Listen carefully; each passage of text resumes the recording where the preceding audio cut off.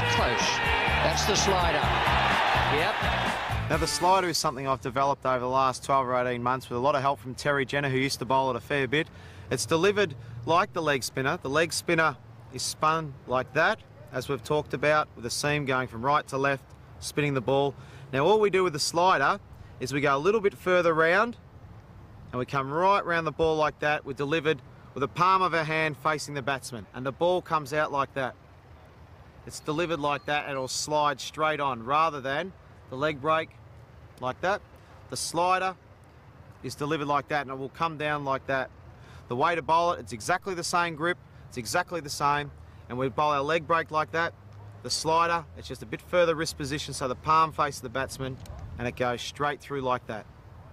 This ball will slide on and hopefully the batsman thinks it's a leg break. It should slide on. It's good delivery for LBWs and bowl.